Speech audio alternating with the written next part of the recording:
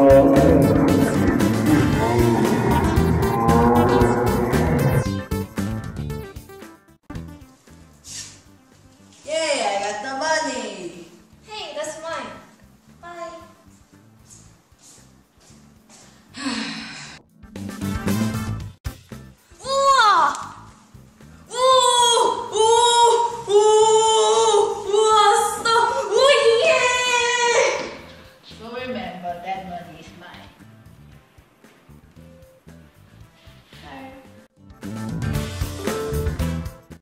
Okay, Kyle, what's 1 plus 1?